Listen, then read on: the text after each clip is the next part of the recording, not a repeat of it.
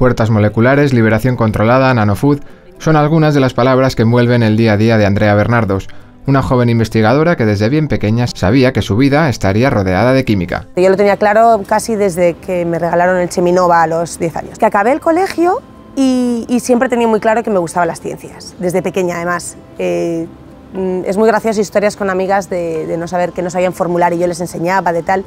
Siempre me ha gustado la química o las matemáticas o también, por ejemplo, pues la docencia. Uno de sus días más felices, asegura, fue el de la lectura de su tesis. Para Andrea, la investigación lo es prácticamente todo. Me encanta investigar, me encanta ver que eh, probar diferentes sensores que hacemos, ver que prueban con diferentes analitos, ver que las cosas salen, no sé, soy química, eso va, eso va dentro de mí, ¿no? Cuando hay días que no salen cosas, que vamos muy hasta arriba, que tenemos que todos estar en el laboratorio, ponerme la bata para mí es una sensación estupenda.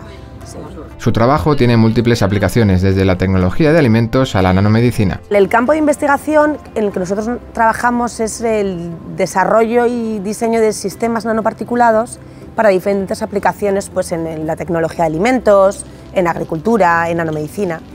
Y básicamente lo que hacemos es la síntesis de nanopartículas de base sílice para liberación controlada.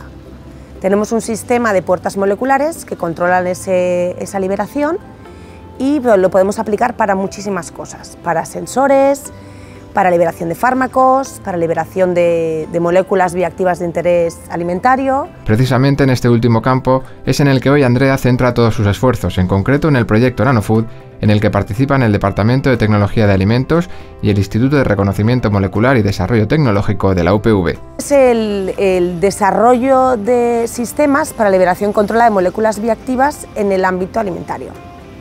Por ejemplo, en el tracto intestinal. Pasa muchas veces que tú te tomas una vitamina o un fármaco para diferentes en, vía, por vía oral y ese fármaco no llega al principio activo donde tú quieres que llegue. ¿Por qué? Pues porque al paso del estómago, por los pHs o por el tipo de enzimas que tiene se destruye.